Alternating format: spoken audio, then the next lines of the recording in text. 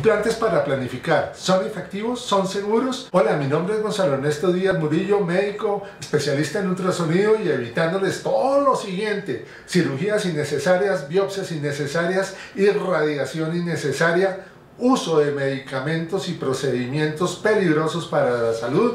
Aquí vamos a hablar entonces de los implantes para planificar. La primera pregunta es, ¿son efectivos? Y son tan efectivos, tan efectivos que casi siempre producen problemas de infertilidad posterior a su uso y es durante años. Nosotros en realidad hemos visto muchas pacientes que tienen problemas de infertilidad, porque de hecho nosotros hacemos estudios de infertilidad, de eso no hablamos mucho aquí, pero los hacemos desde 1980 con buenos resultados.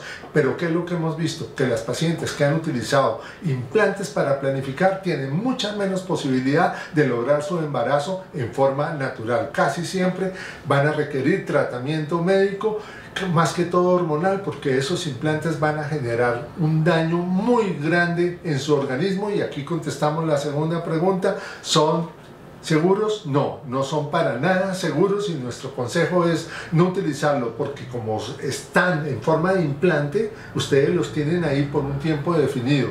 Desde que les hacen una cirugía pequeña, les ponen el implante, cierran la cirugía y esperan así un tiempo largo largo es mucho tiempo. Ahora, no todas las mujeres absorben el medicamento en igual forma. Uno es más rápido, otro es menos rápido. La dosis es suficientemente grande para evitar la mayoría de veces, y es una gran mayoría, evitar el embarazo. Pero ¿cuál es el efecto adverso? Que les va a volver nada su función hormonal y luego van a requerir tratamientos muy eh, difíciles, muy bien hechos para que puedan lograr el embarazo. Pero como la pérdida de la fertilidad no solo se debe a eso, se a muchas cosas, lo que va a hacer es complicarles totalmente la fertilidad. Consejo, no lo usen. Gracias por mirar este video. Con ustedes estuvo Gonzalo Ernesto Díaz Murillo. Recuerden, nos pueden preguntar aquí en los comentarios. Bye.